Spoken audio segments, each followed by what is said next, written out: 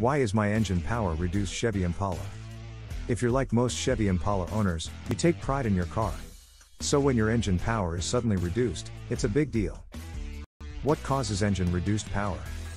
One of the most common causes of engine reduced power is an issue with the electronic throttle actuator or throttle body.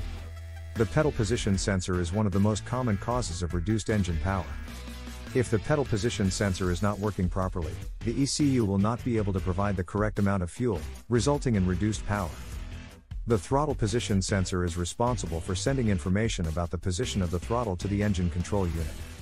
If the sensor is not working properly, the engine control unit will not be able to properly regulate fuel mixture, timing, and other important aspects of engine operation. If the engine reduced power is due to a circuit issue, it will usually happen when the engine is first started or when the vehicle is accelerating. When your engine loses power, it's usually caused by one of two things either a problem with the PCM, powertrain control module, or an issue with the data network. If the car has an electronic throttle control system, it may need to have the idle relearn procedure performed. Engines are designed to operate within a specific temperature range.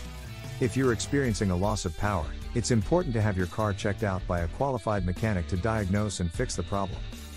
How do you fix engine power reduced?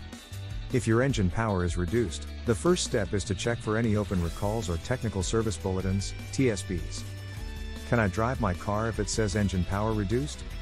If your car's engine power is reduced, it means that the engine is not producing as much power as it normally does. If the problem is with the ignition system, you may need to start the car more often.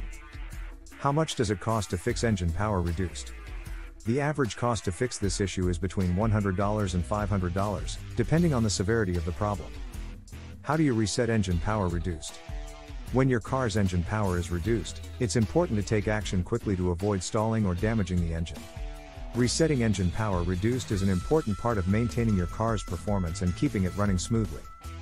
We hope this video has helped you understand the reason your engine power is reduced and how to get it back up to full strength.